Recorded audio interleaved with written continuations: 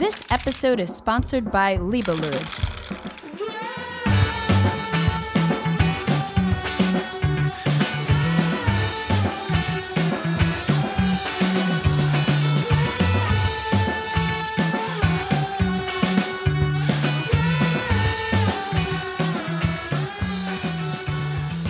Hello and welcome to episode 26 of the Board Game Geek podcast, where we geek out about board games, the mechanisms behind them, and the people who create them.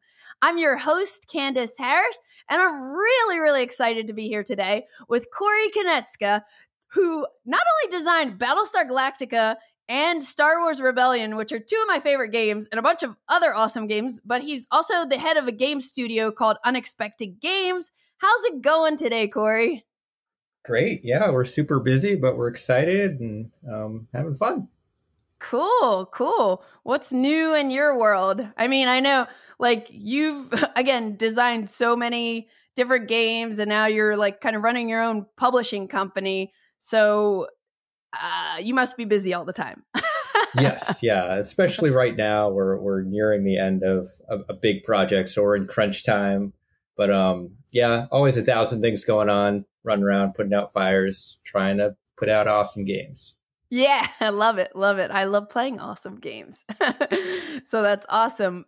So, what you and I just met for the first time at Gen Con. Mhm. And uh, I'm still, I guess, compared to several people, like newer to the board gaming hobby. And one thing I noticed, like early on, as I was kind of discovering all these modern board games, is like there's so many games out there with like fantasy themes or like just like sci-fi themes and then like all these euro games where you're kind of trading in the mediterranean. And now nowadays uh, we seem to be kind of getting flooded with like a lot of animal themed games and nature themed games and food related games which is really cool to see like people kind of just doing some different things um, and exploring different themes with board games so for me i find that always refreshing to kind of discover games that have more rare themes. So today we're going to discuss board games that we've played with very, very unique themes. Um, it's not necessarily our favorite board games or anything, but it's just like games that we played and were kind of intriguing that had just really unique themes. So, um, and Corey, you were you kind of chose this topic. Yeah. So I, I take it you're you're a fan of uh, just kind of discovering unique games. Yeah, I, I love just weird, wacky stuff. Um, the the crazier the theme, the more interested I am immediately. Um, Yeah. And it's funny you brought up the the nature theme stuff, and as I was kind of making my list, if I had been making this list like five or six years ago, like I would have made a completely different list, right? Like when Wingspan came out, that might have been described as a game with a unique theme, right. but now everyone's doing it, and so it's not unique anymore. Yeah, yeah, I feel I feel the same way. Uh, but before we start talking about unique themed board games, I'd love to hear what you've been playing lately, Corey. So let's jump into fresh plays.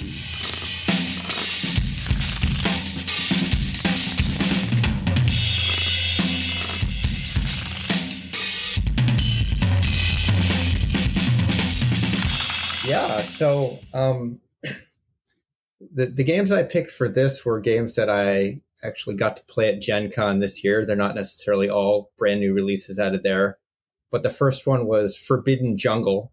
Um, That Oh, did come out this year. That's a Matt Leacock design from his Forbidden series. I think it's the fourth one in there. Um, published by Gamewright for two to five players.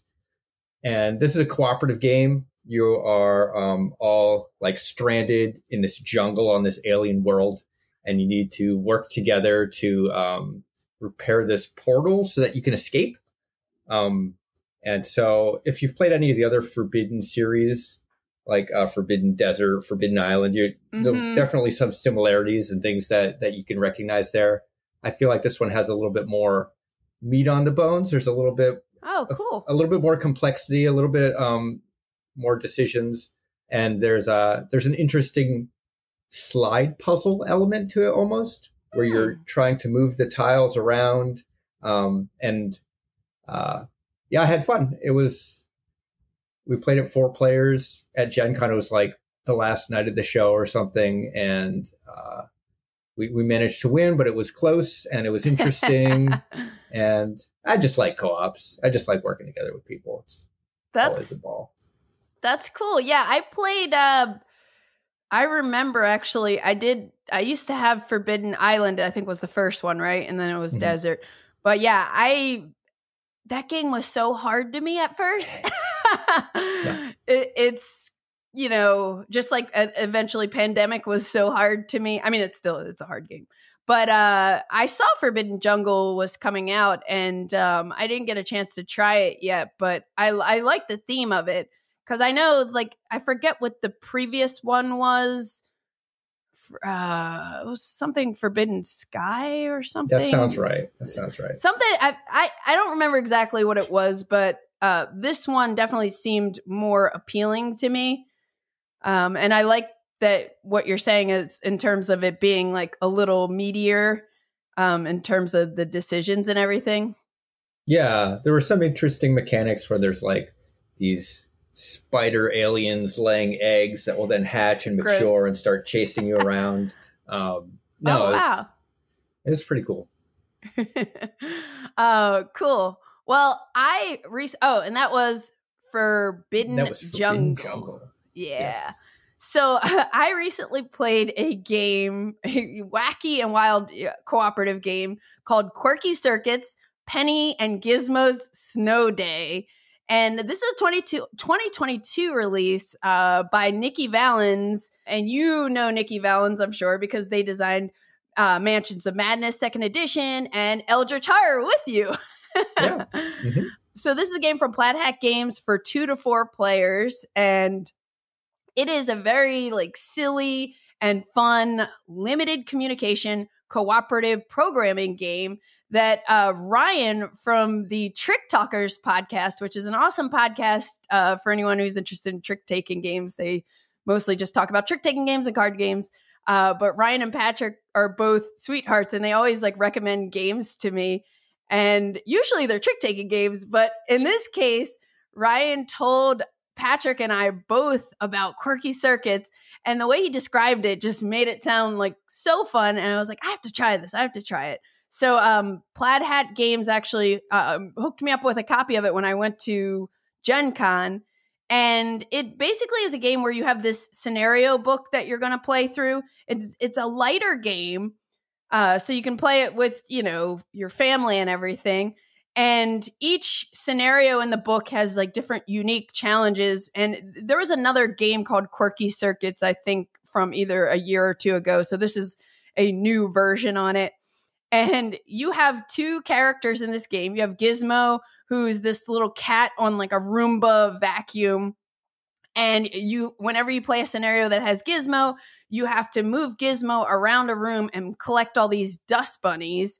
And then Penny, you have some scenarios with Penny, who's a robot that's on ski slopes, who's trying to collect different flags. And the the different boards of like playing in the house trying to pick up dust bunnies versus the ski slopes that alone is pretty interesting.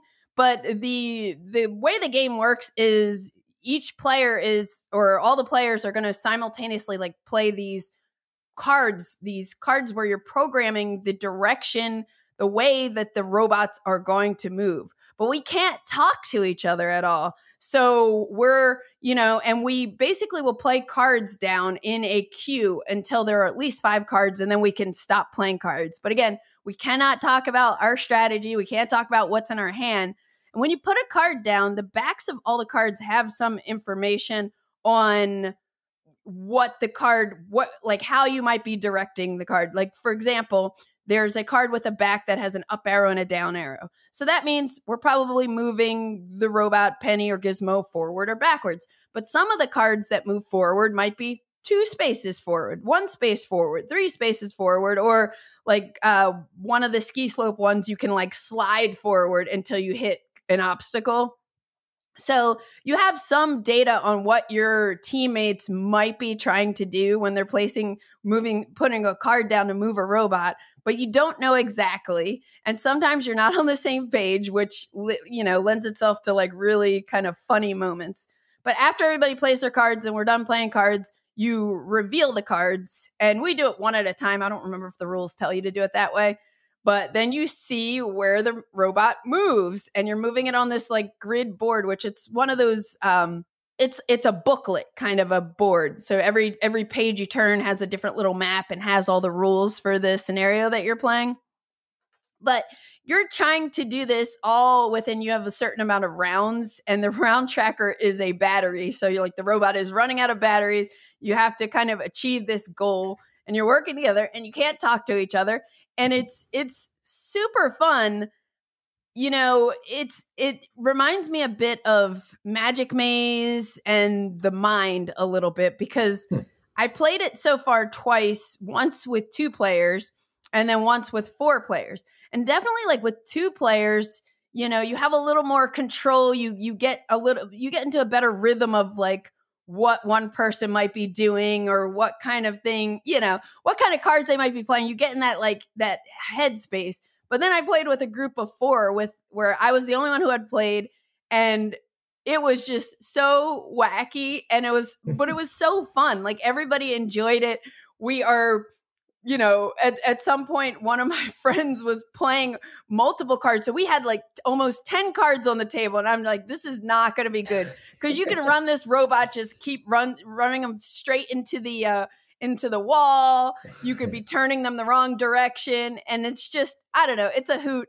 I've only played the first two scenarios so far, but I'm very curious to kind of, uh, kind of go beyond that and again, this is like a silly, wacky game, but if you like limited communication games, I think you might dig this because uh, I think like Kazuka is another like limited communication co-op game that uh, I enjoy. So I think I just really enjoy that mechanism of not of working together but not being able to talk to each other because it's like it's just so satisfying when you do when things do click and it's like oh we did do it in the right way and you you know you can kind of like make things happen. Uh, have you ever played any of the Quirky Circuit games, Corey? No, I remember when the first one was announced. I'm like, oh, that sounds like it'd be a lot of fun, and then I never got around to trying it. Um, yeah, yeah, sure. It, it does. It does look really cool. Right now, it's like it's on my shelf as something doesn't take too long to play, really fast to teach, and it just it's it's fun. It's a it's a fun experience working together, and you know, again, it's satisfying when things work out and when things don't work out it's hilarious. And mm-hmm. it's the, the art is very kind of kitty looking and playful. So you can definitely like play it with kids not super young probably but um yeah it's just a really lighthearted fun game. And that is quirky circuits penny and gizmo's snow day. What else have you been playing lately? Uh, the other game I put on this list was, was something else that I played at Gen Con. I actually took this one home with me, and it was Make the Difference. This is by Oink Games. It was released okay. in 2002 and designed by Shintaro Ono. That's how you pronounce it, Japanese designer. Um, it's for two to four players, and this is a super light game. I'm going to describe it to you in two seconds, and you'll know how to play. cool. Basically, you remember those old puzzles that say spot the difference between these two pictures. Yeah. Um, it's Similar to that, you've got these black and white um, drawings. Every player is given one. And so you take one off of this pad and you are, with a black permanent marker, you are making differences to this art piece that the other people are going to try to find. Um, oh, interesting. And there's some rules to like how you can make these changes. Um, you can like make a line longer or you could add like a little line. Um, but they you'll only get points if the addition that you make is at least a certain size big. It comes with this little tiny ruler. Gotcha. Um, so the start of the round is everybody kind of gets a pad, they tear off one of the sheets, they get a marker, and they make their five differences to their sheet. And then one at a time, players go around the table, they will reveal their sheet, they'll put out their sheet and they'll put out the original. And you put this um piece of frosted plastic kind of over your sheet, just so that it's not obvious like where you wrote with ink. Um, gotcha. It obscures the artwork a little bit. Um, and we were just holding it in place to make sure it doesn't jostle around. And then the other players have until the sand timer expires to try to find these five differences. So everyone else crowds around the table and they start to try to spot them. And if you get one, you get some points. Um, after the sand timer expires, you flip it over one more time and they continue to go. But if they find a difference, they get less points. And the person who made the change, they also get points because it took them longer to find it. Gotcha, gotcha. And then at the end, if all five weren't found when the sand timer went through twice, any um, changes that weren't discovered, you'll get points based on the size of them with that little ruler. Like if they're a certain size, you'll get one point. If they're bigger than that, you'll get two points. If it's smaller than that, you get nothing. Um, so everyone puts their sheet in one at a time. We try to find the differences, and then whoever has the most points wins. Pretty much the game. Oh, yeah, that is really, really straightforward. How big is the box? Because I know sometimes those Oink games are like super small. sure, it's a little bit bigger than a standard Oink game, but it's maybe the size of like the Mind or something. Okay, okay. Five inches by four inches or something. Gotcha. And th- and you picked that one up at Gen Con? Yeah, yeah. I was at the Oink Games booth and I'm like, I really want to get something from here. This one sounds so weird. I like weird games. I'll get this one. Cool, fun. cool. That is Make the Difference. Cool. So, speaking of weird games, I recently played, I taught some friends a trick taking game called Savage Bowl, which is from 2023. It's from Japanese designer um, that goes by the name of Oreo. And it's published by Berekeke Games and it's for four to five players. You need four or five players. I heard that it's best with five. I've actually only played it with five, and I think this probably would have been my third or fourth time playing it, maybe fourth time playing it.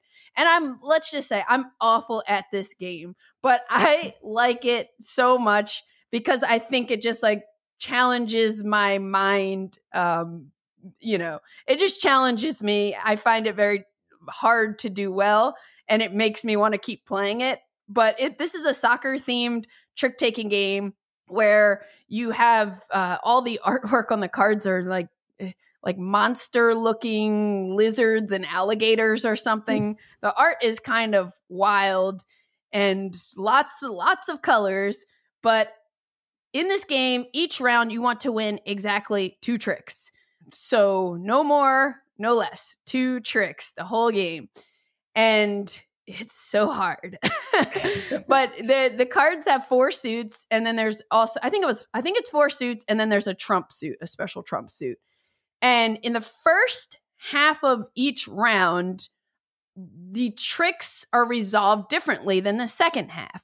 So in the first half, basically the referee is kind of paying attention and looking out for roughhousing and whoever plays the strongest card of the trick, uh, they will be flagged, and then that player will get to uh, face down discard a card from their hand, and they won't play in the next round. They've been benched.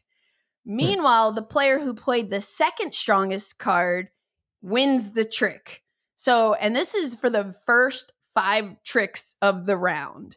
It works like that. So the strongest one gets benched, and then won't and will be sitting out for the next round and the second strongest one wins. Then after the first 5 cards or 5 tricks have been played, whoever just and then it goes to just normal scoring where it's like the strongest card wins. And if you're the first player to get to two tricks, you get to take a little bonus card, meaning if you don't bust, uh, you'll get two extra points in addition to whatever the amount of points the round is going to give you for being successful at getting two tricks. And then the second person to get two tricks will get like a one point bonus card.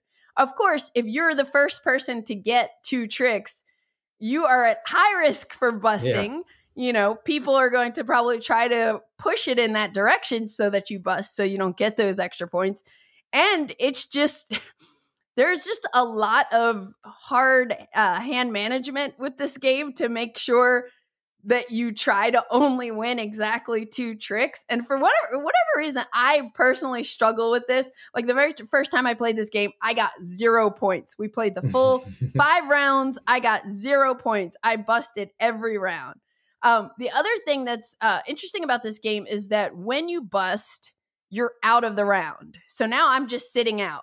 Hmm. But there's a whole trickle effect, especially as the game as the round, you know, hits closer to the end when people are running out of cards and everything. If I bust, the player to my left is often going to be leading next, and mm. they usually don't want to lead because yeah. when you lead, you have less control, especially as people are running out of cards. And so they're likely to then bust, and it creates this trickle effect every almost every single time you know when people start busting it's like okay the round's about to about to be over pretty quickly. But the other neat thing in this game is that everybody gets a chameleon card which you can use once per round. And the chameleon card is basically lets you play a card when it's your turn to play a card into the trick. And instead of the card being the suit that you're playing you play this chameleon card and it converts it to whatever the previously played card was.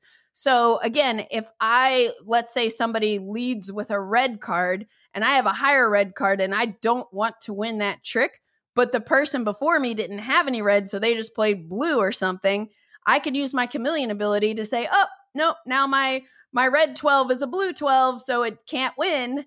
You know, but you can only mm. do that once per round. So there's a whole thing of playing when with when to do that.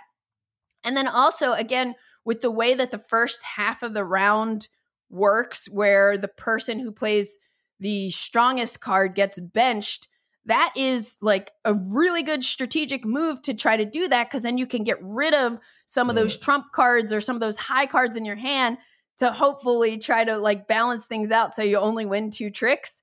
So uh it is it's it's a challenging game. Like I mean those rules probably didn't sound too tricky tricky but uh but it's but it but it does add some mental complexity more so than a lot of uh more you know simpler trick taking games and i would i would get i guess i would kind of call it a heavier trick taking game because of sure. how thinky it is uh, but again, I last time I played, I got five points, which was huge for me, huge for me. Um, and also I didn't mention, but the scoring each round, like so, round one will be who, whoever successfully gets the two tricks gets one point. Then maybe round two is if you successfully do it, you get two points. And then maybe it jumps up to five points or whatever. So each round, if you're successful with getting two tricks, the amount of points um, is increased and the game's going to end either at the end of a certain amount of rounds depending on player count or if any player gets to 10 points it'll end immediately. It were there ever moments in the game where you were struggling to get your second trick or was it mostly just trying to avoid tricks? It's the trick avoidance that's the okay. challenge for me because i hmm. would you know i tried everything like i was like okay i'm gonna wait and not even i'm just gonna try to not win a trick for a while but then it's like, uh oh, I got one. and now I'm leading. Uh oh, I got another one. And then it's like, what do I do with this hand of cards where I need to lead again because I just won my second trick, but I yeah. don't want to win? Eh, it's so challenging. That's very interesting. Yeah, it almost feels like a reverse trick taking game. You almost don't want tricks. You do want yeah. some, but you're going to get them anyways. Huh. exactly, exactly. And there, there are a lot of these like trick avoidance games where you get negative points. So this one, it's like, no, you don't get any negative points. You just don't get points. But it, it for me, it's always brutal. But I guess I just, I love that. Like, I love that challenge. Like, one day I'm going to report back on this podcast that I won Savage Bowl. You know, I don't, it could be 10 years from now, but one day, one day. But yeah, that's Savage Bowl. So do you play trick taking games? Yeah, I play less of them nowadays than I used to, but um, I remember when I worked back at FFG, we used to play lunchtime games, and for a while we got into Tichu Um, nice. And we played. Uh, there was another one that we played too. I can't remember off the top of my head. Um, we got really into it. We were like keeping score. We had like brackets and playoffs and all sorts of crazy stuff. It was fun. Cool. That's awesome. Well, shall we start talking about some unique themed games? Absolutely. And now a word from our sponsor. The Aristocats dance to the music. From childhood to adulthood in Frozen, Buzz Lightyear travels to infinity and beyond in Toy Story. Listen and create your own interpretations of Dixit cards in this new version inspired by Disney and Pixar movies. This autumn, awaken your imagination with the Disney edition of Dixit. Which card will you choose? In this game, invent, guess, and communicate with 84 cards inspired by Disney and Pixar movies. It's a way to play and introduce new players to the classical board game Dixit. From timeless classics to recent Disney and Pixar films, this Disney edition of Dixit will appeal to all generations. The Disney edition of Dixit is a standalone game, not an expansion. However, the cards are compatible with all the Dixit range the basic game, Dixit Odyssey, Stella, and the expansions. It's a way to merge the two universes. Disney Magic meets Dixit Poetry, available now. I'm excited to hear your list because you know, just like you, I'm always excited to kind of discover new games. So I'm hoping, I'm wondering if we're going to have any crossovers or if uh, you're just going to put some new games on my radar. But Y- either way, either way. it was it was an interesting challenge. Like when we first proposed this idea, I was really excited about it. I'm like, oh yeah. Um, and then as I was making my list of like games that might qualify for this, I was like, oh, this is harder than I thought. yeah. Um, and and what do we actually mean by like a unique theme and what makes a theme unique? So some of my choices on here, including my first one, I think are a little bit off the beaten path as far as what you might think of as a unique theme. okay. Okay. Was it challenging to make the list because you thought of too many, or was it because of you're trying to like just figure out what you thought was the most unique kind of game? Like, what made it challenging for you? Because Oh, sure. for me, I had I had a situation too where I, like I this was more challenging than I was expecting. what I was finding was I was putting games on here, and then the more I thought about them, I'm like, oh, is that really unique? Um, there are actually a lot of games like that, and I'm like, okay, scratch that one. Um, and so, yeah, I ended up, I, I just ended up picking kind of things that are unique for very different reasons. Cool. All right. Well, let's let's jump into it then. So, uh, my first game was Tak, and this game was released in 2017. It's designed by James Ernest and Patrick Rothfuss. Uh, it was published by Cheapass Games. It's a two player game, it's an abstract game, which at first you'd be like, how is that a unique theme? Um, but what makes this theme unique, right? Abstract games, for the most part, don't really have a theme. So the theme for this game is actually from a novel uh, called The Wise Man's Fear, um, which is a sequel to my favorite book of all time, um, The Name of the Wind by Patrick Rothfuss. And Oh, in this cool. novel, they um, play this game called Tak. Um, and it's and as they're playing the game, there's like a lot of dialogue and political things happening, and um, they talk a lot about how they they describe it as a beautiful game to play because it's not just about beating your opponent into submission. Like you want to win in the most clever way that you can. Um, and so the, the mechanics of the game are very simple, but the the theme of it and the fact that it comes from this book series that I love so much, um, I felt like made it a unique theme. That it's it's a fictional game from a fictional world that they then turned into a real game. Um, That's cool. and the game itself is also really fun. I've played it um, with my brother and with a few other people. It's just for two players, and you've got a grid. Um, and the, uh, there's some unique things about the game in that you can play it on different size game boards. And so there's like an eight by eight, a ten by ten, and they sold all sorts of different versions of this game. That like here's the one that they might play at the pub, and here's the one that this famous character might have had their custom set that was really expensive, and here's one that somebody else might have had. Um, Wow. and basically, uh, you've got a grid. Let's say it's a six by six grid, and you're placing um, tokens down that are either walls or stones or standing stones. So basically, you've got these wooden pieces, and you're either laying it flat. Um, and if you're laying it flat, that's the main way that you win the game. You're trying to make a um, line of flat stones from one side of the board to the other side of the board. Doesn't have to be a straight line. It could like zigzag. Um, sure. as long as they're orthogonally connected. So that's the main way you win is by placing out these ones down like that. The other way you can place your tiles, you can place it as a standing stone, which is basically a wall. You put it in a space, and your opponent can't um, place tokens there. They can't move there. They can't do anything about it. Um, huh. And then there are um, rules for ways that you can actually move your stones that are already down on top of other stones. So you can cover up the opponent's ones to basically claim that space. And eventually you can move those stacks to make like giant stacks that you can then like cascade across the board. Um, the strategy gets like really deep for such a simple game. Um, wow. So if you're into abstract games, if you like two player games like that, maybe check it out.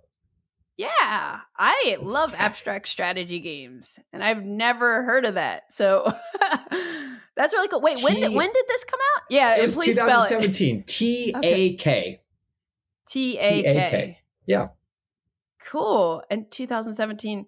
So so the game was introduced in a book, and then somebody made a game of it. Yes. Based yep. on that book. That's so cool. Exactly. That's a really good pick. Okay. Uh so the first game I'm going to bring up is um a game where we are basically controlling the weather and manipulating clouds and it is a game called Petrichor. Petrichor is a 2018 release designed by David Chircop and it's published by Mighty Boards and Ape Games. It plays with one to four players and basically Petrichor, which I never knew until I discovered this game, um, is defined as like that earthy smell of that's produced when rain falls on like dry mm. land or dry soil. The, that smell of rain that I think a lot of people know, I guess is called Petrichor. Um, okay. So this is an area majority game where, again, we're manipulating clouds and weather to make different fields have the right amount of weather so that they grow and then it'll when a harvest phase is triggered they'll score um, which is like based on a majority of different players uh, water droplets being on the fields because they've rained down um, so Benita Core um, mentioned Petrichor as one of her favorite area majority games on episode uh, 17, I believe, of the BGG podcast. And she got me like really excited about it. So I reached out to Mighty Boards and they sent me a copy of the base game and the collector's edition, um, which was super nice.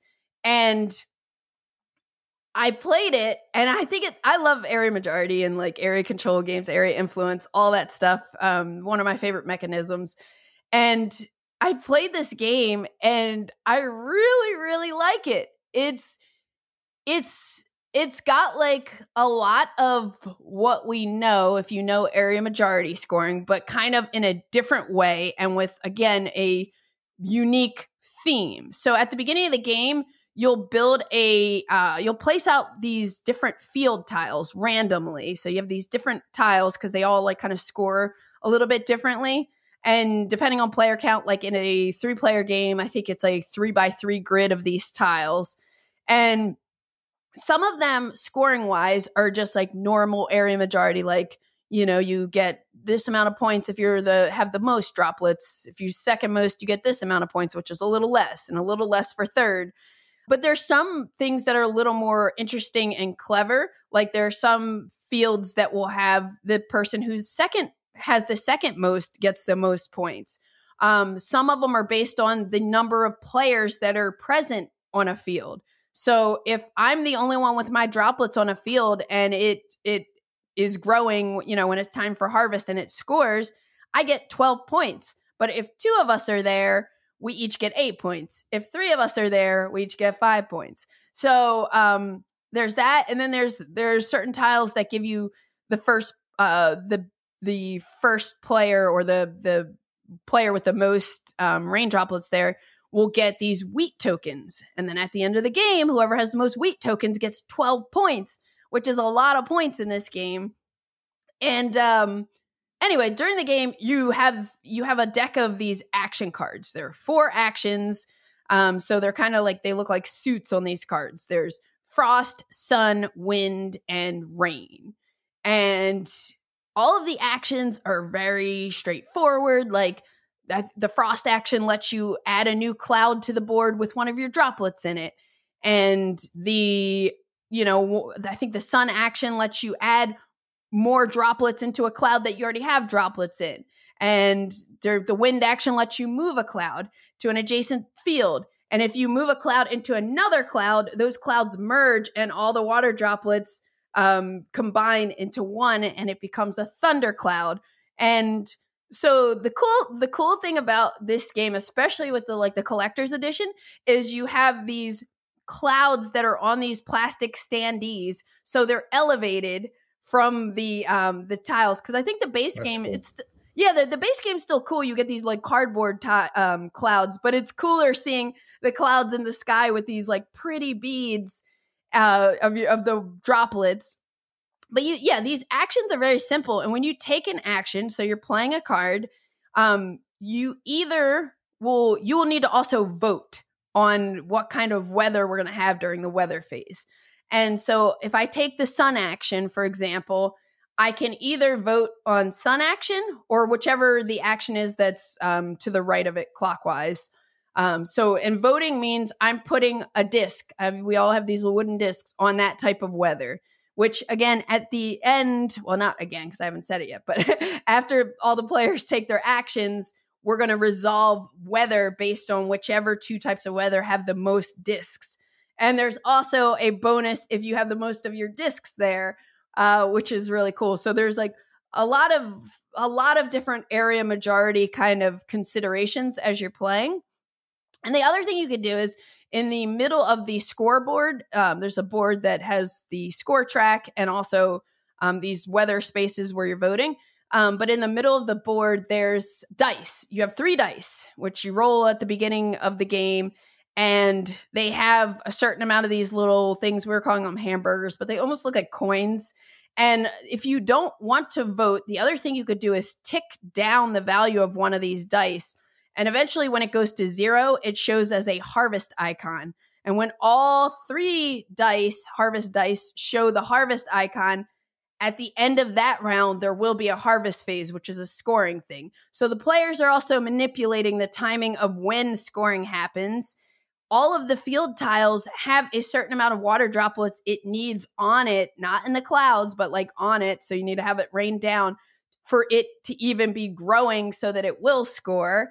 So there's like there's all this like really cool manipulation you can do. You also can since you can like with a wind action move a cloud that has at least one of your droplets in it other players' droplets might be in it. So you might hmm. strategically move a cloud somewhere to, you know, hurt hurt your opponents a little bit. So there's there's a lot of interaction, a lot of neat things you can do.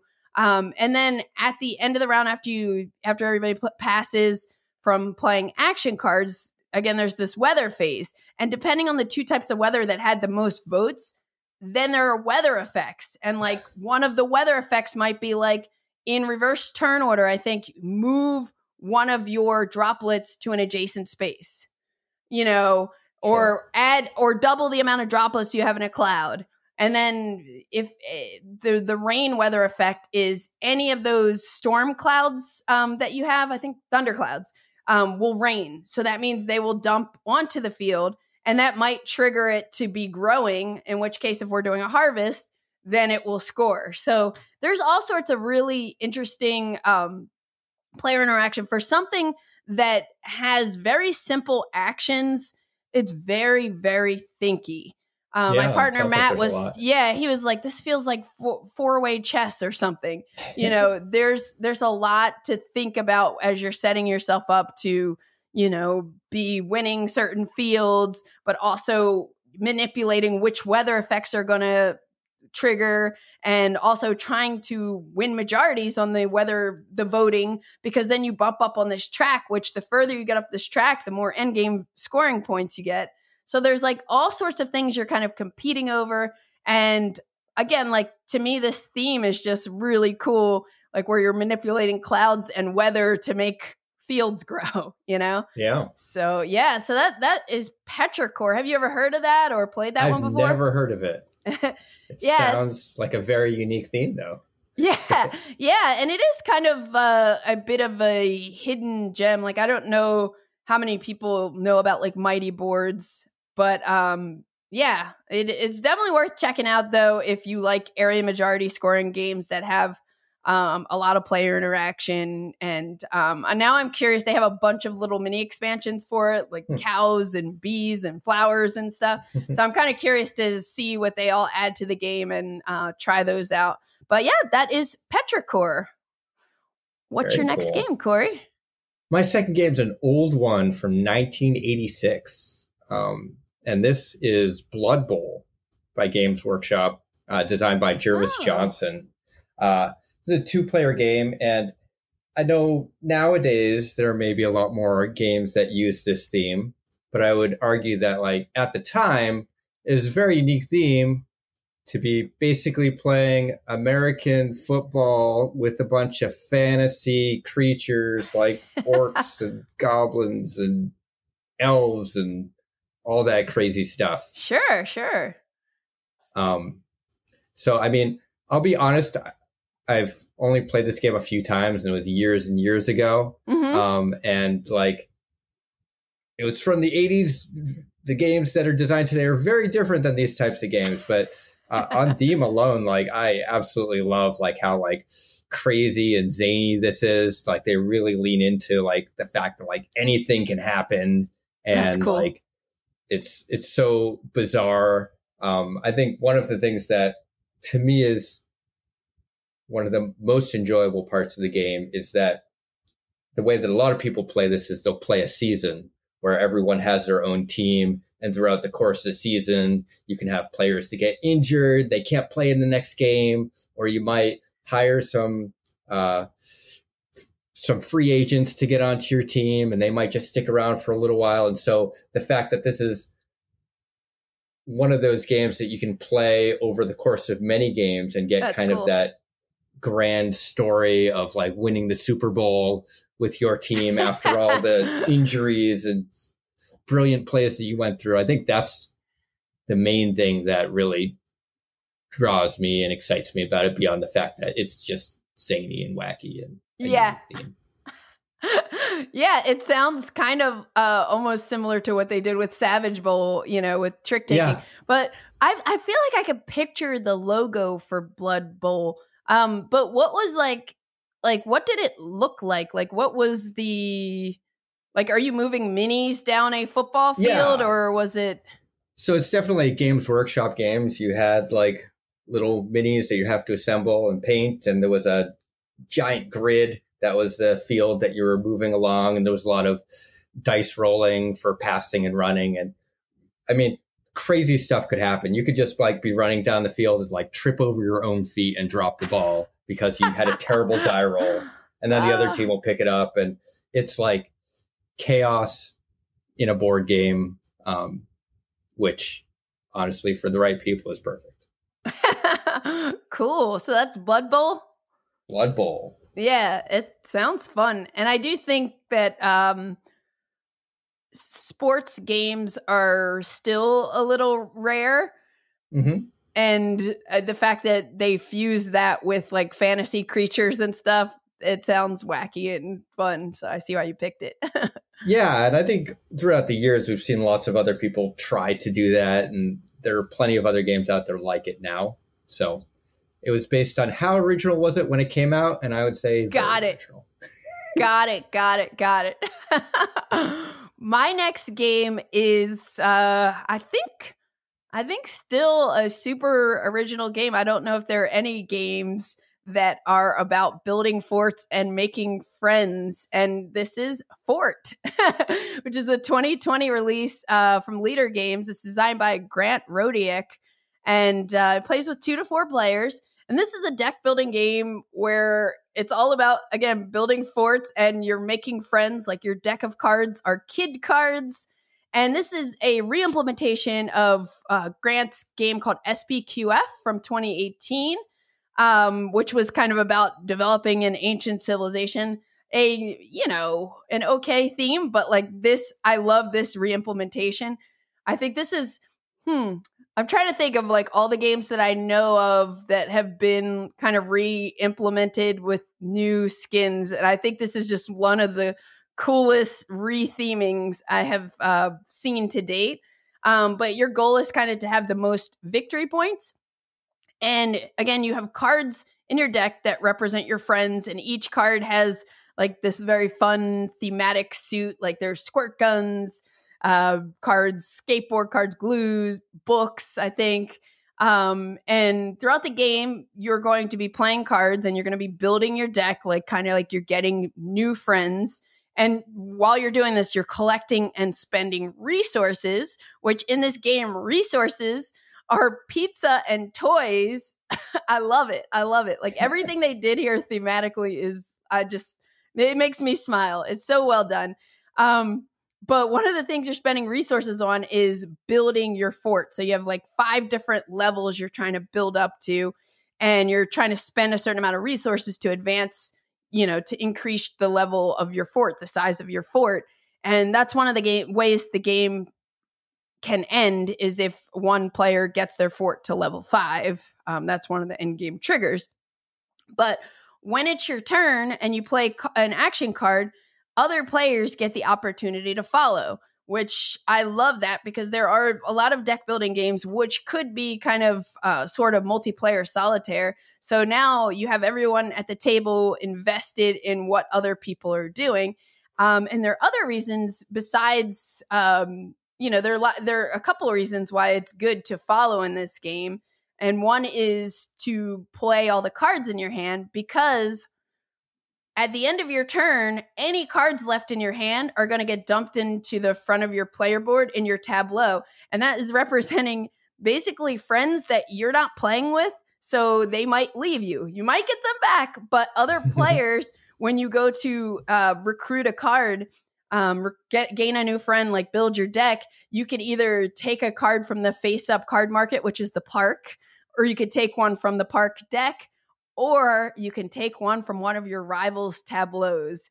So I'm it's like, hey, now. if you're not playing with your friends, they might leave you. Yeah. So there's like there's some really interesting um, player interaction in this game that I thought I knew about uh, SPQF just like a month or two before I I knew they were doing Fort, and I was like, this is so cool because I like deck building and I like you know unique twists on anything, and so I always thought it was such a cool mechanic, and I'm glad they you know Leder picked it up and they they added this new theme to it, so it's getting you know getting out there to more people um because it's it's it's really fun. And it also like i got a comment on the awesome playful art that kyle Mm-hmm. did you know who does the art for root and i think every Leder game. Um but the whole package like the components the art the the verbiage on everything is so thematic and um yeah that's that's fort have you uh That's ever awesome. played that one or No, um, that's a great pick, though. If I had thought of it, I would have put it on my list. Um, cool Yeah, I've, I've met Grant before a few times at Gen Con. He's a great guy. Um, and the uh, I remember when this game was announced, and it was another one of those ones like when you're talking about quirky circuits. I'm like, ooh, that looks really interesting. And I, yeah I I like deck building games, but I um, so many of them feel very similar. But this one Yeah. felt like it had not just a cool theme and a cool personality, but it also had a lot of really unique mechanics that I love. Um, Yeah. So- yeah. it is now on my wish to playlist. Love it. Love it. I hope you enjoy it because I think I think it's super fun. Um, and again, I think the the unique theme is very well integrated, and I know they they have an expansion for it. I think it's like a dogs and Mm. cats expansion. I haven't I haven't picked that up yet or tried that. Uh, but yeah, if if you like deck building games and just or games with unique themes, definitely recommend checking out Fort. The other positive is it's a small box. It does not take up that much space on your shelf. Yep. uh cool, cool, cool. Well, what is your next game? So my next game is actually a single player board game. It's called Hostage Negotiator. And this is a game by Van Ryder Games, uh, released in 2015, designed by AG, sorry, AJ Porfir- Porfirio. I believe that's how you pronounce it. Okay. Um, and in this game, so it's a solo game, and you take on the role of a hostage negotiator. You've trained your whole life to be put in these high pressure situations where when some criminal takes hostages, you're there on the phone trying to talk them off and get the hostages free without things going south. Um, so the theme can be a little bit dark for some people, right? Um, like you're trying to free all the hostages, but there's a chance that some of them might die and not make it out. Um, but the mechanics for it are, pretty simple. There's a board in front of you that has a few tracks on it. One of them is like the the the tension, whereas the um, person who took the hostages, as they get more irritated, like this track accelerates and they get more irrational. Um, and then you've got another track for conversation points where you can gain these points um, by talking to them to try to buy better cards to use on future turns. Um, and ultimately, your goal is you're trying to free at least half of the hostages and capture or eliminate um, the uh, person who's captured them. And there's uh, a bunch of different characters that you can choose from that you're playing against. Um, and each of them has their own personality. They've got their own demands that they want you to fulfill. Um, and you can choose to fulfill these things for them or not. We don't negotiate with hostages. Like you can get really into it um, as you're playing it. You can get a lot off the theme. There's great flavor text on all the cards. Like it, they show like little voice bubbles of what you're like Yeah, saying yeah. to him, but you can also role play it. Um, there's a lot of dice rolling and and there's a lot of randomness involved, but it's a very strong theme and it's very unique. I can't believe I did not have this on my list. Uh, I totally forgot about Hostage Negotiator, but I played it. I so this is you mentioned the theme being kind of like dark or you know not everybody might be into it and I was very turned off by the theme. I'm like, I Mm. don't want to play this. Like, this is not something I envision myself enjoying. And I don't remember if I just had seen uh, Liz Davidson's like Beyond Solitaire channel where she always enjoyed it, and I think she has some videos on it. And I, there were just at some point I was like, I'm gonna give this a shot, and I got it, and I just loved it. It's just it's so well done thematically Mhm. and I ended up going nuts and I bought all of it. And I like I I heard that the career expansion is supposed to be awesome. Have not tried it yet, but I still own it and this is like one of those games I refuse to sell because I know it's like so good and everybody I I know who's played it says that that expansion like that career mode or whatever kind of like elevates it. So, and I again, I bought all of the different like criminals or, or hostage, you know, all the different packs, and I just I have not uh, had a chance to kind of revisit it, but I can't believe I totally forgot about that game. well, that's a Yeah. great pick. Thanks. Hostage Negotiator. Cool, cool, cool. Um, the next game on my list um, is actually designed by a friend of mine um, here in the LA area. And it is a game that came out in 2022, and it is on a very unique historical topic. And this game is called Stonewall Uprising. It's designed by Taylor Shuss, and it's from Catastrophe Games. It plays with one to two players, um, but it you know it was definitely designed as a two player experience um, because it's kind of a there's a tug of war situation. Um, but this is another unique deck building game and uh, with a unique theme. And it's about the Stonewall riots that took place in June of 1969. Um, and there were the, there were a series of protests in response to a police raid at the Stonewall Inn in Greenwich Village, which is in like lower Manhattan. And this was pretty much like a pivotal event that transformed the gay liberation movement in the 60s through the 80s and 20th century fight for LGBT rights in the US. So it's like it was a very pivotal moment in history. And the way the game approaches it is it's a two player asymmetric deck building game that's kind of fused with some CDG or card driven game mechanisms where you're either going to play as the pride or the man fighting for or against equal rights.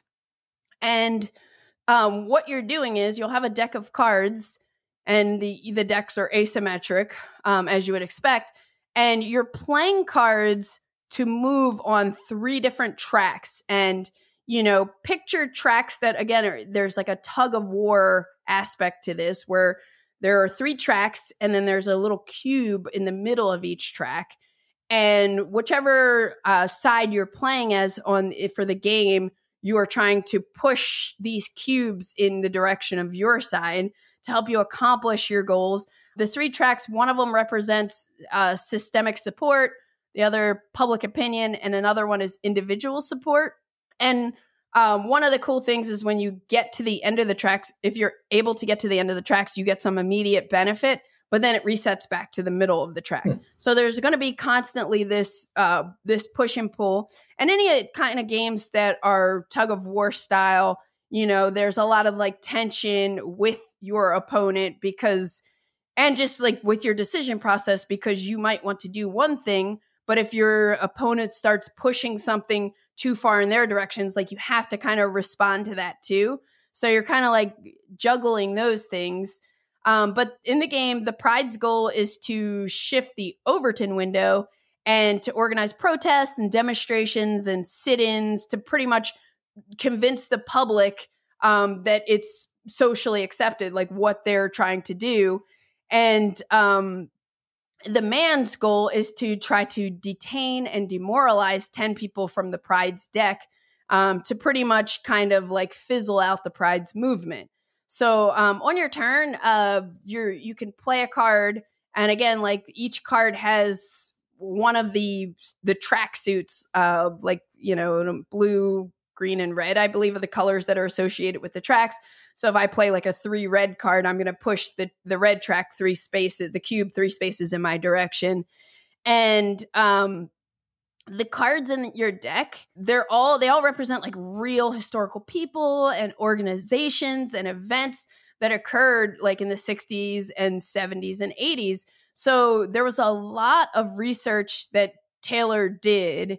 And i think that um well, one of the other things I like mechanism wise is that like at some point one of you is going to fold, meaning you're going to stop playing cards for the round.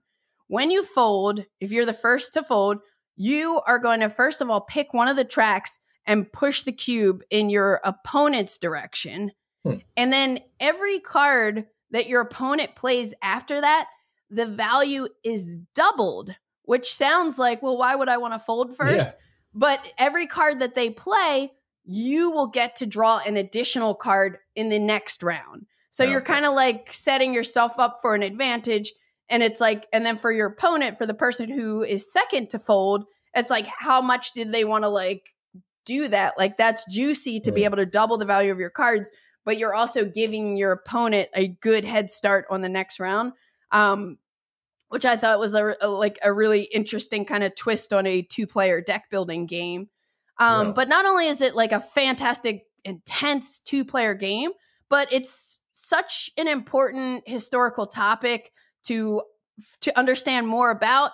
And I'm really glad that Taylor created this game um, because it was inspired by his own personal experiences as a gay man in the U.S. And I know again he put a lot of ton- tons of research into it and like hopefully anybody who plays it can like learn a little bit more about this like just pivotal event in history you know and i don't think there are any um games on gay civil rights, you know? So like to me this like this theme is so unique and again the gameplay like Taylor just as a designer is has a very unique style and I have cuz I'm friends with him like we've play tested each other's games and stuff like that. So I I always love seeing what he comes up with and I'm just really glad that this game exists and I'm looking forward yeah. to seeing like whatever he kind of does next. That's awesome. That's a great pick. Yeah, have you uh had you heard of that one? I, I might have heard of the game in passing. Um like the historical event, honestly, up until a few years ago, I, I wasn't even aware of it. And so right. just like the visibility of telling people more about it, I think is, is great. And the fact that it's got a good game behind it, like win win.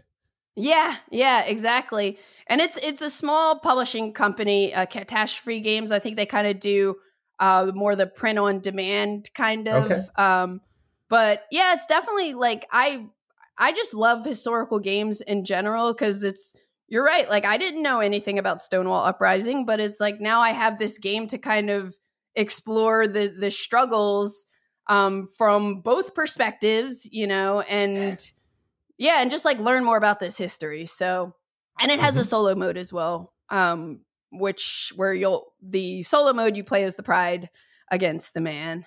Um, sure. But yeah, that is Stonewall Uprising. Very cool. My next game um, was a game that I saw this year at Gen Con called Skyteam. Yes. Now, uh, this game is designed by Luke Redmond, uh, published by Le Scorpion Mask. It's a two player game. And I'm going to be honest, I put it on my list because my coworker won't stop talking about how awesome this game is. I agree. We were, we were at Gen Con and we're sitting at the booth. We're waiting to like demo it. And it was a really long wait. And we said, oh, we'll come back later. And then there was a line to purchase it. And he got in line and I didn't. And now I regret it.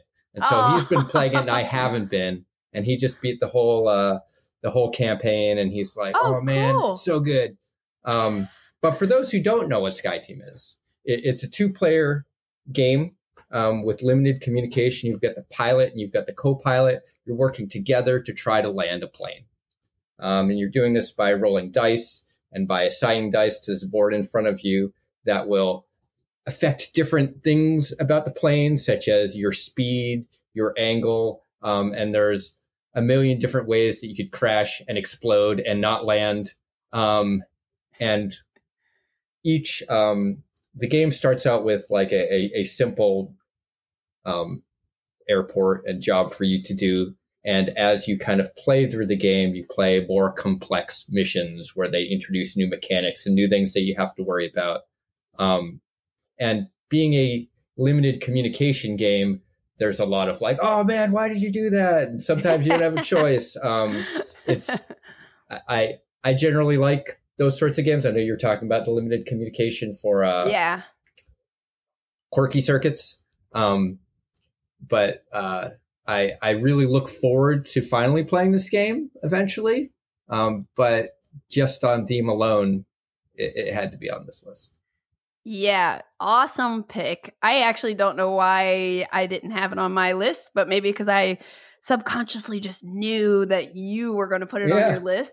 But yeah, I did get an opportunity to demo it at uh at Gen Con and I loved it. I my friend uh Tim was ordering the game for himself and he ordered a copy for me, so I do I am getting I am getting a copy because I wasn't able to get one at Gen Con, and that was like one of my regrets of not wa- leaving there with a copy Me of Skyteam.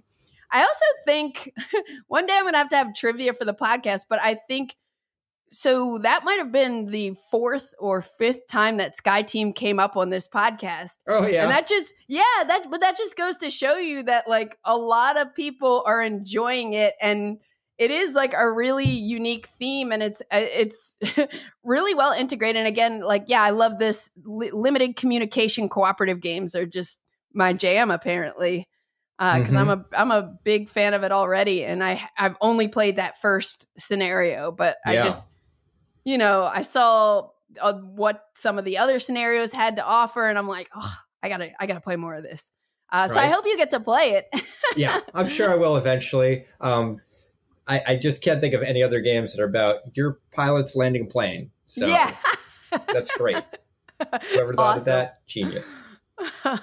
That's Sky. All right.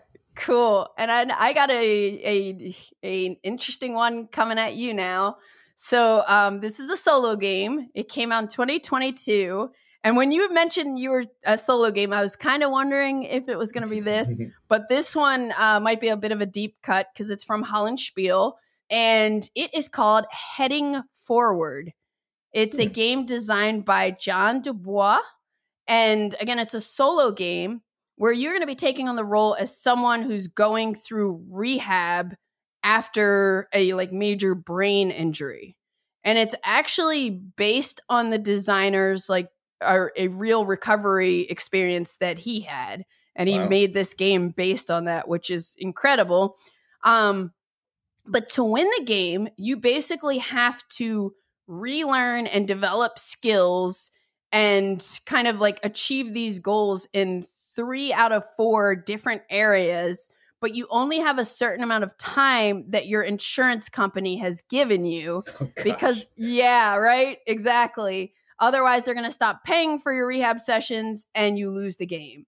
So, um, the the game board for this, um, it's mostly cards that you're playing with, but you have this calendar um, and on the calendar, that's kind of your round ticker. Like you have these red numbers on certain days of the calendar.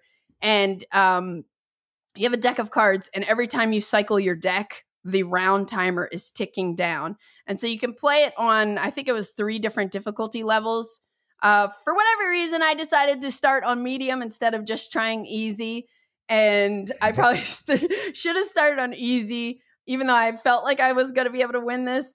But it's basically like a hand management and resource management game where uh, you have a deck of cards that have again there are four different types of skills um so like four different suits and each of these skills within the suits um have four stages so there's a stage 1 and then there's you want to try to get that to ticked up to stage 2 which when you tick a card up to stage 2 or just up a level you're going to rotate it.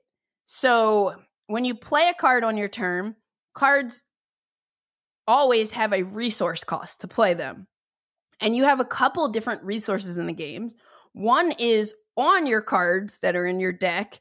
Um, some of the cards will have one or two heart icons, which represent care, um, or they'll have a little hourglass icon, one or two. I don't think any of them have more than that, um, but that represents time. And so certain certain cards, you know, that you play, you have to spend a certain amount of time. So you might need like to discard another card to play it. And then you also have um resource a resource called spoons that are actually like there's cutouts of spoons, which I guess um I don't remember the person's name who came up with this idea of spoon theory, but I think it's like representing um you as you're kind of recovering having like small chunks of energy that you're able to kind of work with. Hmm. So each um each turn you take um is pretty much playing a hand of cards till you can't. And you can spend spoons, but you always get your spoons back at the start of your next turn. So you're and you're able to throughout the game gain more spoons, which you really need to do uh, to be successful at the game. So spoons are a resource, and then you also have money as a resource, but when you spend money, it's gone. So you have to keep trying to make money and then you spend it. And then again, you have the cards. The other thing that you can get in the game is these i'm just going to call them brains because there's like a brain mm-hmm. token i think it's you like expanding the amount of capacity of things that your brain can tolerate and okay. as you improve on that throughout the game you that's on the the main board that's increasing your hand size, which is helpful because again, that's giving you resources yeah. and everything. Um, but so to to level up a card, you have to spend resources, and it usually gives you some benefit. But then to I'm sorry, let me restate that. To play a card, you have to spend resources, and it gives you some benefit when you do.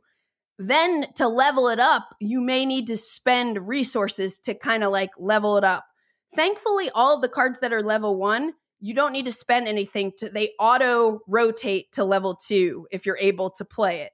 So you rotate the card and now you put it in your discard pile facing the opposite direction, uh, 180. And That's then cool. If after you cycle your deck, now if you're able to take that card from level two to three, you swap out the card and you have cards off to the side that are um, Hmm. level three and level four on the other side. And they get increasingly, they give you cooler benefits, but they get harder to kind of like level up as you go. Mhm. So, um, the other thing is in your deck, you have a trigger card. And this is at the beginning of the game, you randomly pick one type of skill. I don't know, maybe it's driving or something. Uh, and you put that on the top left of the board. And every time you draw this trigger card, you have to play it.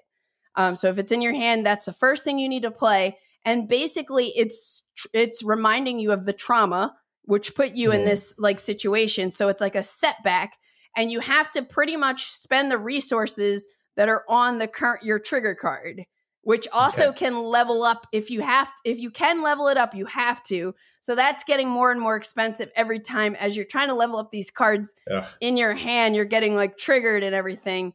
But again, you're playing through cards. You're trying to figure out which cards to try to level up because you're often, especially in the early game, not going to have the resources you need to like level up all the cards. Your hand size starts as three. So you're lucky if you're able to like level up one card and then you draw another set of cards, reset your spoons, and then oh maybe maybe now this is level two. I get it to level three, gives me some money, gives me a new spoon. So you're like kind of building up your engine.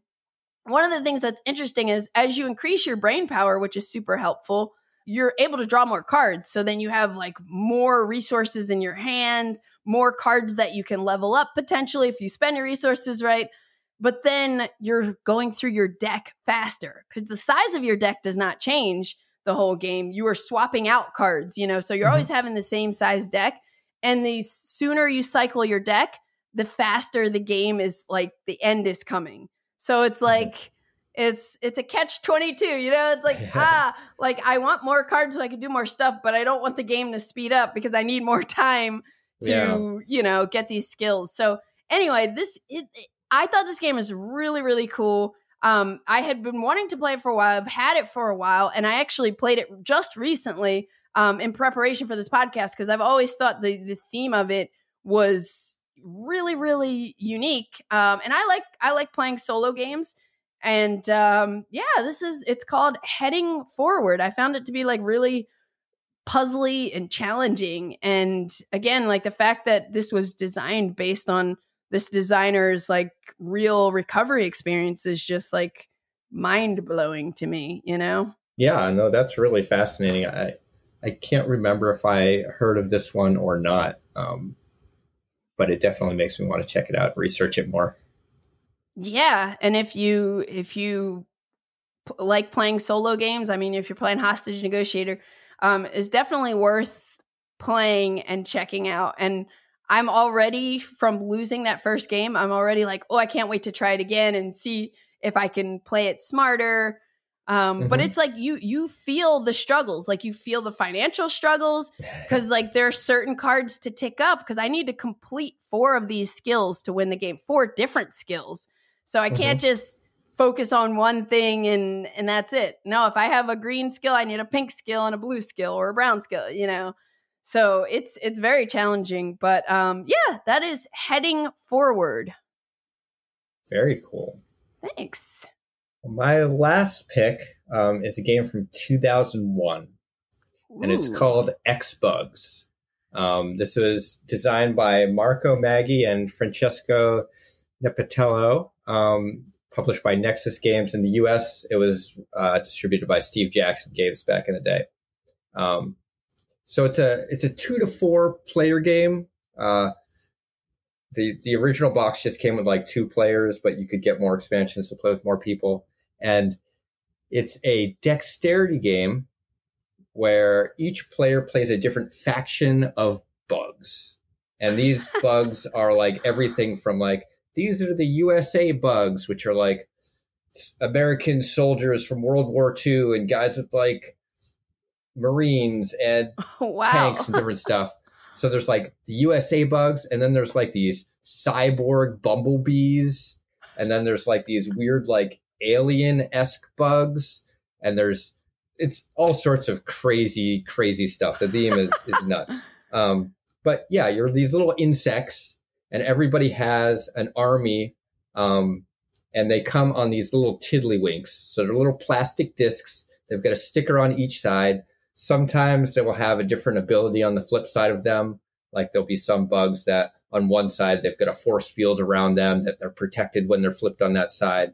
Um, and at the start of the game, everyone sets up their base, which is they've got three buildings that they put down, um, which are these larger discs.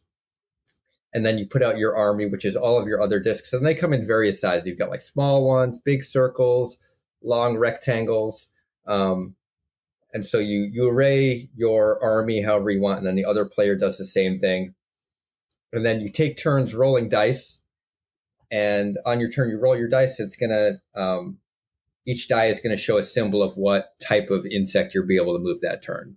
Like if I'm playing the um, the bees, I might get my drone that I can move, and one of my warriors or whatever. And so you look at your dice that you rolled, and then you've got a little flicking stick that you used to actually like push down on yeah. your tiddlywink, and it flips into the air.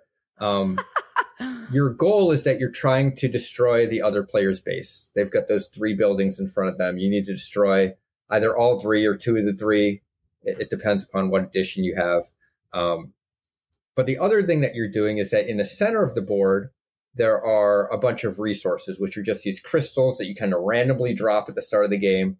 And if you land on one of those, you collect the resource and you save up enough resources, you can upgrade your bases which give you new special abilities. Oh, cool. Um, so each of your bugs have different powers. Your bases eventually get different powers, and um, they added more to it. They uh, eventually re-released it as Micro Mutants, um, which was uh, FFG actually did the the English um, printing of that. Um, but they added like extra cards and different things that you could buy.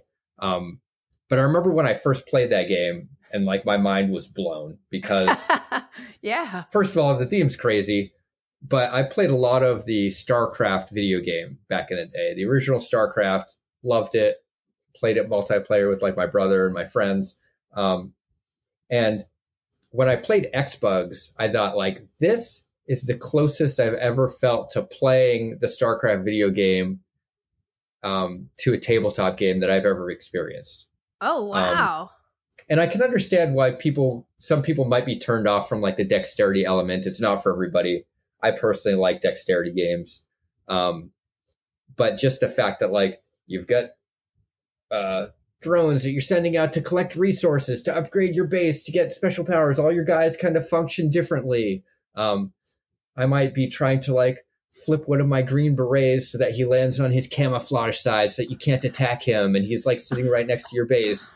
Um, or there are some um, enemies that can actually fire projectiles. There's like a a tank that the U.S. team has. Sorry, it's not a tank. What is it? I don't know. It can fire. It's a rocket launcher guy. He's got a rocket launcher. Gotcha. You can place a little rocket next to him, so he can stand still and he can like fire his rockets across the board and try to hit other people. Um, it's it's a silly little game. It's been out of print for years. It's probably pretty hard to find, but it remains in like my top favorite games of all time uh, for the gameplay and because the theme is just so wacky. That's have you ever cool. No, so I have not. I've never even heard of that, but it sounds really wacky.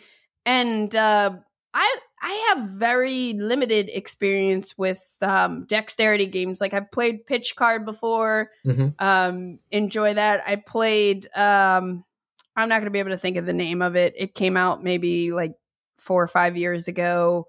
Catacombs. I played oh, yeah. Catacombs. Yeah. And um I guess Crokinole. yeah. Is it, you know, um, I love Crokinole, but uh that game sounds really, really unique and interesting. And I don't think while I while I don't think like dexterity games are like my oh I can't wait to try them all um I that sounds fun. it sounds fun and really really unique. Uh, and it's funny that you it has like a bug theme that's also like kind of a war game thing. yeah, it's super weird. So yeah, I got really into it when it first came out, and this was before I was working in the industry or anything.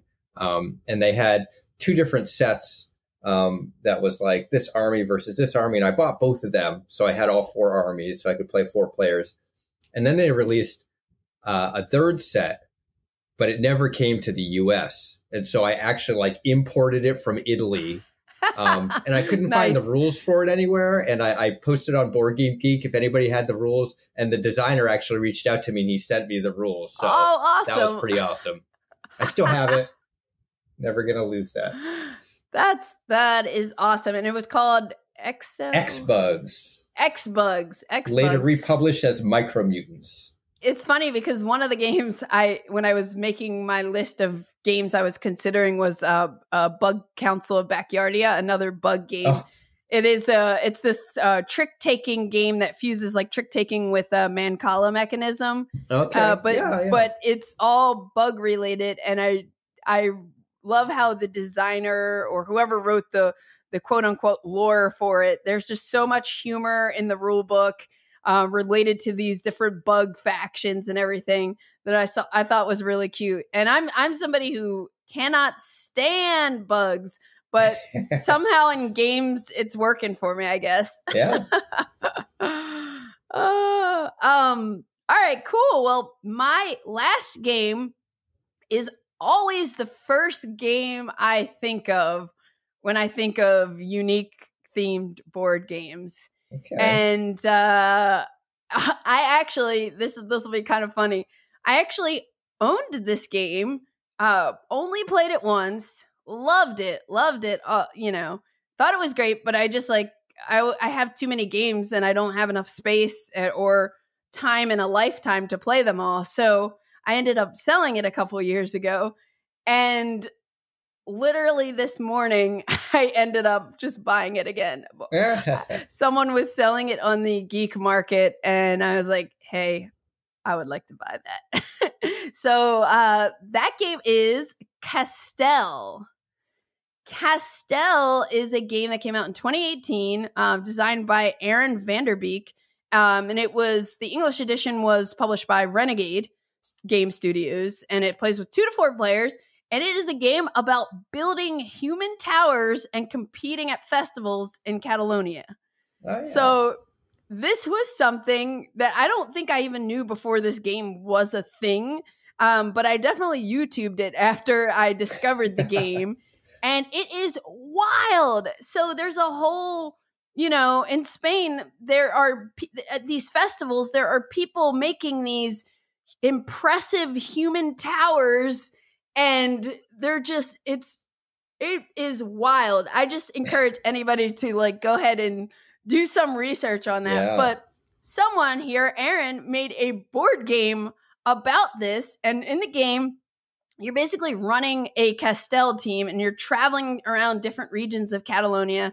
And um, I think there are only like four actions in the game. Like you can move to different regions on the map, and then you can recruit castellers for the team. I think you start with a certain amount, and these castellers are like rectangular tiles um, that have a person on them, and it'll have a um, a size. So, and yeah, the castellers each have a size. I think it ranges from like ten being the largest to maybe a one.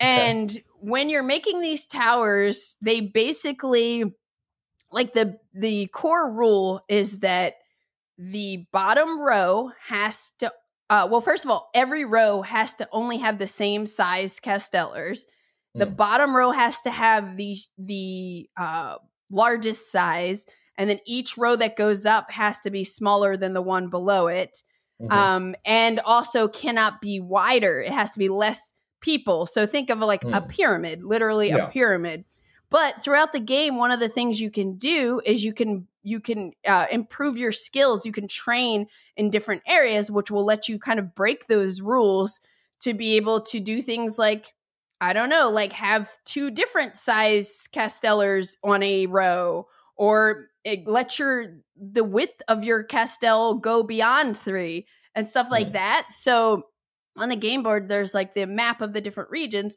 but then there's also this skill wheel where it's you have different skills around the wheel. I think there were tiles if I recall and then in the middle, you have it's like a wheel of fortune color wheel that shows all the different locations. And each round, it's going to rotate. So maybe in um, uh, Barcelona, I don't know, uh, in one region this round, you can go there and train in strength.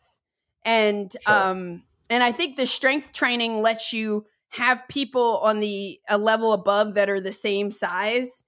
Mm-hmm. Um, so again, like this this training you're doing is breaking rules. But you're doing all of this because you're competing at festivals. So at the top of the board, um, you will randomly place out these tiles showing where festivals are going to be each round. And in order to compete in the festival, you need to be there when it's time for the festival to happen. And so you know at the beginning of the game where different festivals are happening. And the way the festivals score, if I recall, um, is you'll make a pyramid. So this is like a very puzzly game, um, but you'll make a pyramid with your different castellers that you have. You know, following whatever training you have and the the core rules of building your your tower, and each tile in it, I think, gives you a point, and then each. Uh, the other thing that goes out randomly at the start of the game under each location for the festival is a certain number, meaning um, representing the size of the castellers. So okay. if there's a seven in one region and you're scoring that festival, every seven casteller you put into your pyramid is going to give you an extra point. And the more players that are also competing at the same festival as you, the juicier the rewards you get um, for scoring um, for okay. scoring the actual festival. So a lot of what you're doing is trying to recruit and train to set yourself up for scoring these festivals but then they also have like there's a special action where you could do these local performances, which are almost like fulfilling contracts. Like you can do um, as a special action, you can fulfill like it might have a certain shape requirement for a um, a, a tower, and it's like oh, if you have that, you can say I performed at that local performance, and I think that gives you some points or something too. Okay. Uh, but yeah, it's just it's I again I was thinking about it as I was kind of preparing to talk about it on here, and I was like, ah, I want to play that game again. It's so cool. so I had to I had to rebuy it. I had to rebuy it, and I'm very excited to kind of revisit it uh, because again, the, the theme is just unbelievably unique, and it's yeah. again something I didn't know anything about. I don't think I ever knew this existed before this game and it's so impressive when you see you know the real life people making uh-huh. these towers and they know how to like they know how to if somebody's going to drop when it's dropping down to like do it safely and gracefully and everything and uh yeah yeah have you i'm assuming you haven't heard of this one when you mentioned the name at first, I was like, I'm not sure if I remember that. And then when you started describing the human tower, so I'm like, yes, I have seen that. I've not played it, but I definitely remember seeing um, seeing that game when it came out. Yeah, yeah.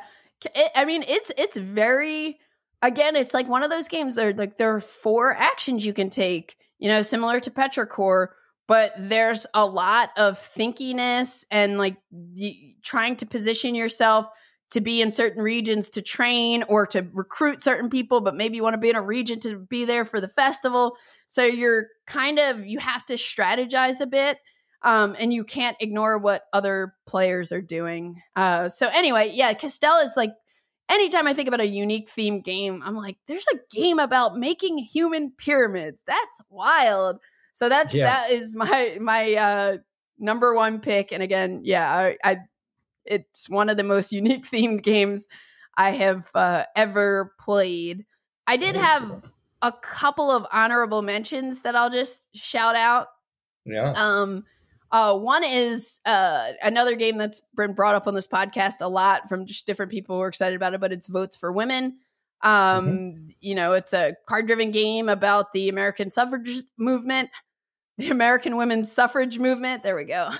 um, and there's a game uh, that was one of the Zenobia Award finalists called Molly House. Uh, that's going to be published by Wehrlegig Games. Um, that's Cole and Drew Wehrle's uh, label. Label. I'm back. I'm thinking back in my music days. Um, mm-hmm. Publishing company, and it's about the queer community in 1720s London. I actually played a prototype of it at Gen Con, and it's I'm really excited about this game. Not only the unique theme, but um, you know, anything that uh, and it's designed by Jo Kelly, but you know, anything that Cole has uh, his hands on is going to be like unique and interesting. So um, I'm excited about that. And then there's the cost, which is uh, was a Spielworxx game uh, that's about the economics of the asbestos industry. Um, wow. Yeah, yeah, that one's kind of crazy. And infamous traffic, uh, where you're c- creating supply chains to um, conduct opium trade in uh, in China in the 19th century. Cerebria, which is like Inside Out, where you're controlling the emotions in a human brain. Um, yeah, uh, we did a game like that with. Uh, I don't know if you heard of Voices in My Head that we did at Unexpected Games. I actually have heard of it. I've never played okay. it. And someone, when I was brainstorming games, someone I talked about when I mentioned this topic brought that game up, and I had I hadn't I haven't played it before. Yeah, it's basically a, a man is on trial for robbing a bank, um, and everyone plays the competing emotions inside him. So one That's person cool. might be the sense of honesty that just wants him to tell the truth while he's on the stand. Somebody else might be um, the uh, fear of not wanting to go to prison. And so we each have a hidden role. And then the action of the trial happens where each turn a card is drawn and some event happens in the courtroom. Maybe he's on the stand and asked a question like, Where were you on the day of the bank robbery? And whoever controls the speech portion of his brain will get to answer that question, which will affect the jury. Oh um, wow! And so you're That's- kind of competing over these different areas of his brain to control, like his motor functions, his speech, his hearing, his sight, um, and all of this you can use to kind of influence the trial and influence the jurors. It's totally weird. But yeah, I, I love it. I love it. I'm gonna I'm gonna have to try it.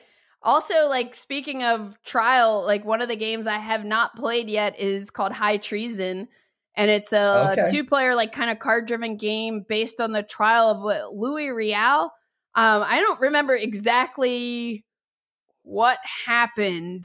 And like this is a game that I picked up a while ago and still haven't tried. I had hoped to get it to the table before recording this.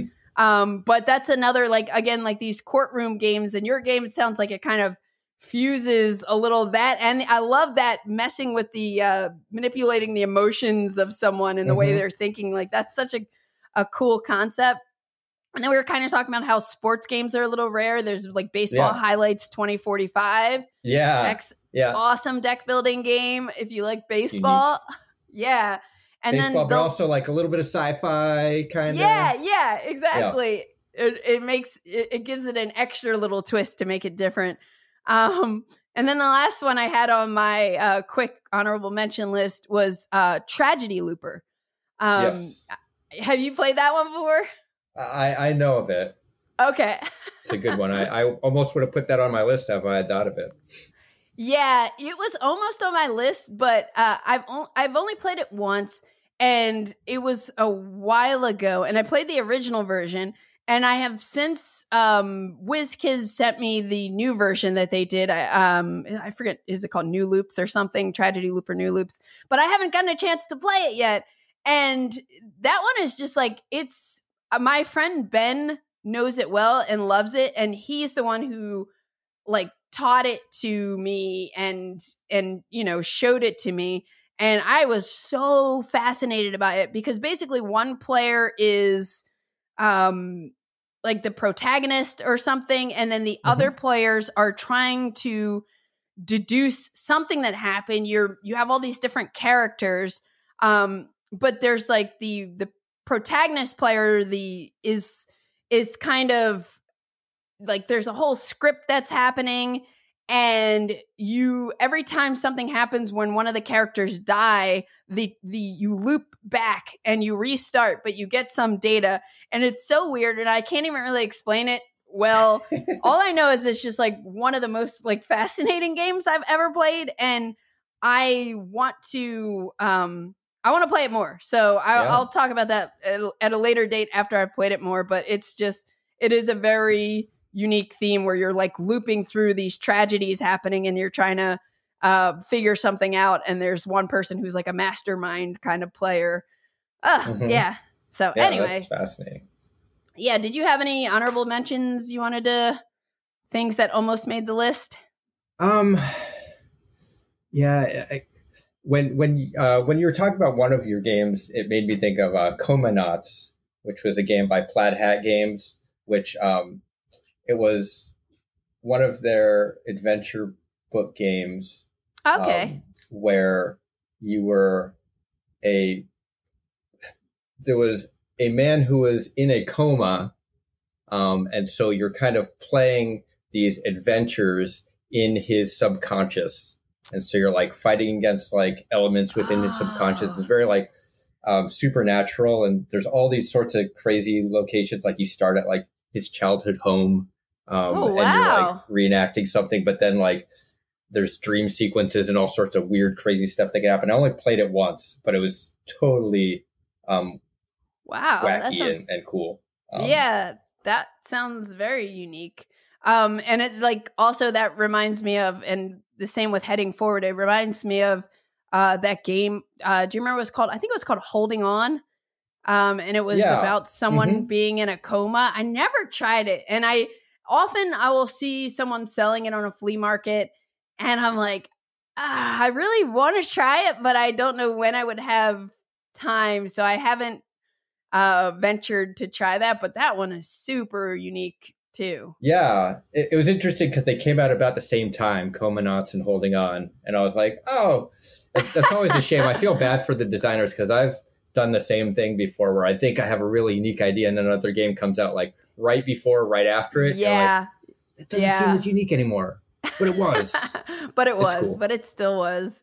Yeah. um awesome. Well corey it was great talking to you. I'm glad we picked this topic. I you know you're the games you picked uh i think all of them except a ho- hostage negotiator were new to me. And uh now i want to look them up. And i know the the bug war game is long out of print but hopefully i get a chance to try it sometime because that that just seemed like super wacky. And also i find dexterity games fun and that seems like i don't know it just sounded cool. But yeah thanks thanks so much for joining me today and it was great to talk to you. I'm a fan of your work and uh, i'm glad we got to chat a bit at uh, gen con as well. You've been listening to the Board Game Geek podcast, produced and edited by Candice Harris. Special thanks to Matt Fonda for editing and mixing our music. Be sure to visit us on the web at BoardGameGeek.com. You can also find us on YouTube, Twitter, Instagram, Facebook, TikTok, and Twitch under Board Game Geek. You can reach us by email at podcast at boardgamegeek.com. Thanks for listening and happy gaming!